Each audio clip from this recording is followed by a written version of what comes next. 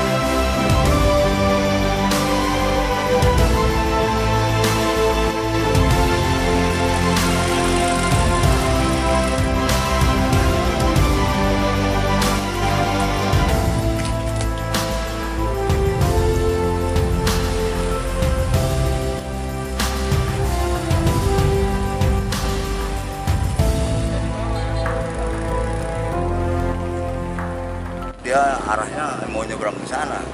Kereta itu terus kemari ke sana. Mau jualan di kantor bupati sini dia.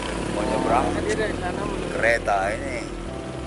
Jual rujak jual Jadi es. gimana bang uh, kondisi dari penjual rujak ini? udah ceceran itu.